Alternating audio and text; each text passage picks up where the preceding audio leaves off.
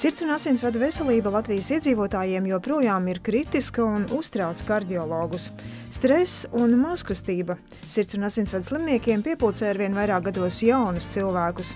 Būtiski ir saulaicīgi uzsākt sarunu ar kardiologu, noskaidrot sūdzības un veikt analīzes. Uzskata kardioloģa Dace Lūriņa, kura pieņem veselības centru apvienības filiālēs Puls 5 un Pļavnieki. Atkarībā no pacienta sūdzībām, bet nu, pamatā vienmēr tiek veikta parasta kardiogramma, kas atspoguļo būtībā sirdsdarbības ritmu tajā momentā, kad mēs veicam šo kardiogrammu, iespējams ritmu traucējums, ko var tajā īsajā brītiņā piefiksēt. Un viens no pamat izmeklējumiem ir ehokardiogrāfija, tas ir ultraskaņas izmeklējums sirdī, ar kuru mēs vērtējam sirds sieniņu biezumu, dobumu lielumu, izvērtējam funkciju, gan kā sirds muskulis saraujās, gan kā sirds muskulis atslāpst, un iegūstam pilnīgi visu informāciju par vārstuļu funkciju.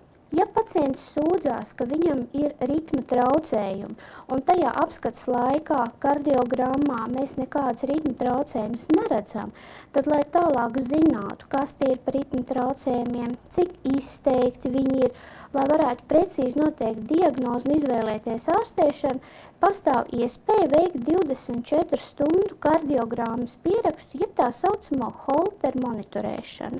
Ir iespēja nozīmēt diennakts asinsspiedienu monitorēšanu. Pacientam uz rokas ir spiediena mērama manšeta uz augšdām, arī ir neliels aparātiņš, ar kuru viņš nodzīvo visu diennakti savā ierastā režīmā. Un tad mēs pēc tam jau varam analizēt, vai mājās, tad, kad viņš ierastā vidē nav ārsta kabinetā, ir normāls asinsspiediens.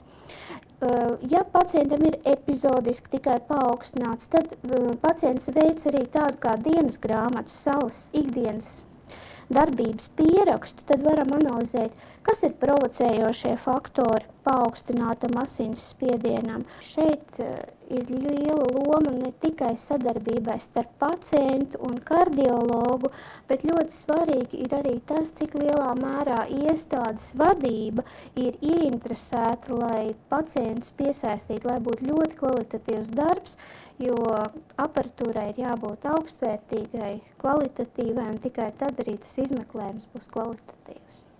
Sīkāk informāciju meklējiet mājaslapā vca.lv un atcerieties, ka pēc 40 gadu vecuma vismaz reizi divos gados vajadzētu veikt izmeklējumus.